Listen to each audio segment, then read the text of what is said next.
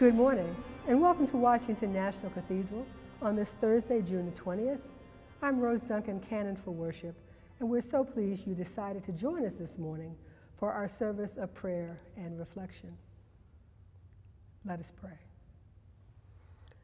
Lord God, Almighty and everlasting Father, you have brought us in safety to this new day. Preserve us with your mighty power, that we may not fall into sin, nor become overcome by adversity. And in all we do, direct us to the fulfilling of your purpose through Jesus Christ our Lord. Amen. Hear these words from Psalm 97 The Lord is King. Let the earth rejoice. Let the multitude of the isles be glad. Clouds and darkness are round about him. Righteousness and justice are the foundations of his throne. A fire goes before him and burns up his enemies on every side. His lightnings light up the world. The earth sees it and is afraid. The mountains melt like wax at the presence of the Lord at the presence of the Lord of the whole earth. The heavens declare his righteousness, and all the people see his glory. Confounded be all who worship carved images and delight in false gods. Bow down before him, all you gods. Zion hears and is glad, and the cities of Judah rejoice because of your judgments, O Lord. For you are the Lord, most high over all the earth. You are exalted far above all gods. The Lord loves those who hate evil. He preserves the lives of his saints and delivers them from the hand of the wicked. Light has sprung up for the righteous and joyful gladness for those who are true hearted. Rejoice in the land, you righteous, and give thanks to his holy name. The reading comes from the sixth chapter of the Gospel according to Matthew, beginning at the seventh verse. And in praying, do not heap up empty phrases as the Gentiles do, for they think that they will be heard for their many words. Do not be like them, for your Father knows what you need before you ask. Pray then like this. Our Father, who art in heaven, hallowed be thy name. Thy kingdom come, thy will be done, on earth as it is in heaven. Give us this day our daily bread, and forgive us our debts, as we also have forgiven our debtors. And lead us not into temptation, but deliver us from evil. For if you forgive men their trespasses, your heavenly Father also will forgive you. But if you do not forgive men their trespasses, neither will your Father forgive your trespasses. In today's gospel, Jesus is teaching his disciples how to pray.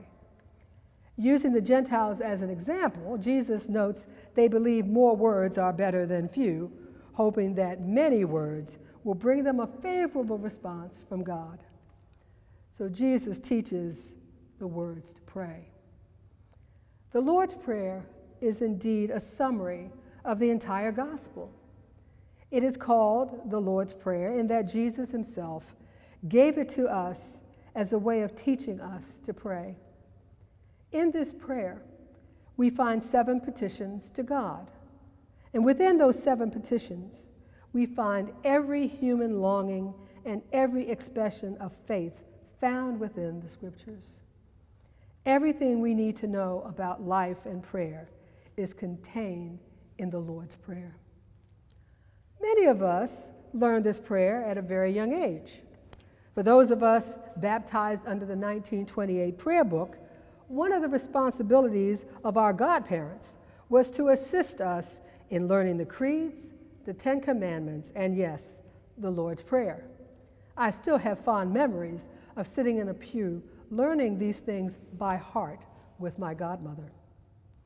One of the gifts of the Lord's Prayer is that we can pray it easily.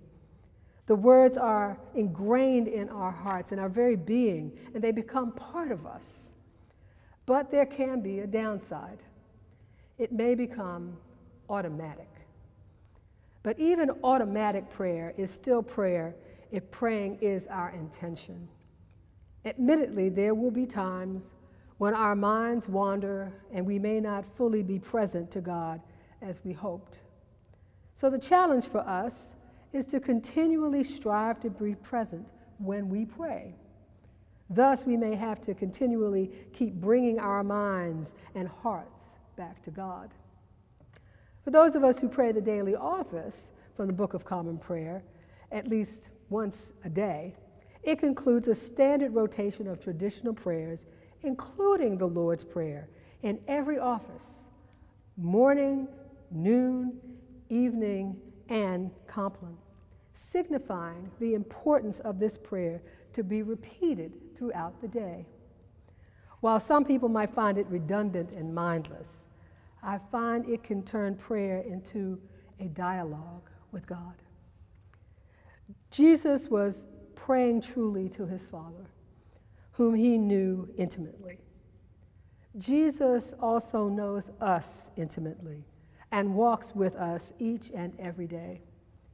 Today, may we pray the Lord's Prayer as one of love, of longing, and of praise. So, however you pray, make it your priority.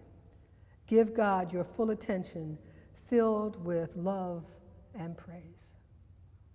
Amen.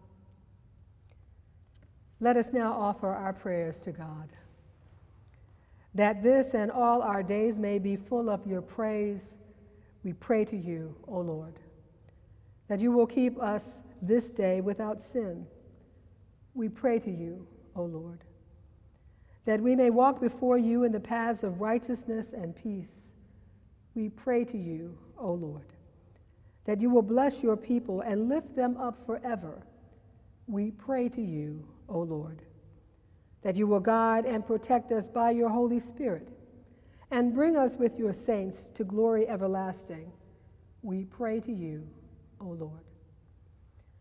And let us now commend ourselves and all for whom we pray to the mercy and protection of God through Jesus Christ, who taught us to pray. Our Father, who art in heaven, hallowed be thy name. Thy kingdom come, thy will be done, on earth as it is in heaven. Give us this day our daily bread, and forgive us our trespasses as we forgive those who trespass against us. And lead us not into temptation, but deliver us from evil. For thine is the kingdom and the glory and the power forever and ever. Amen.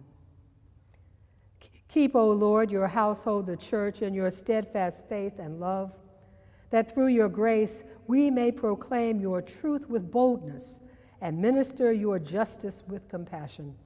For the sake of our Savior Jesus Christ, who lives and reigns with you in the Holy Spirit, one God, forever and ever. Amen.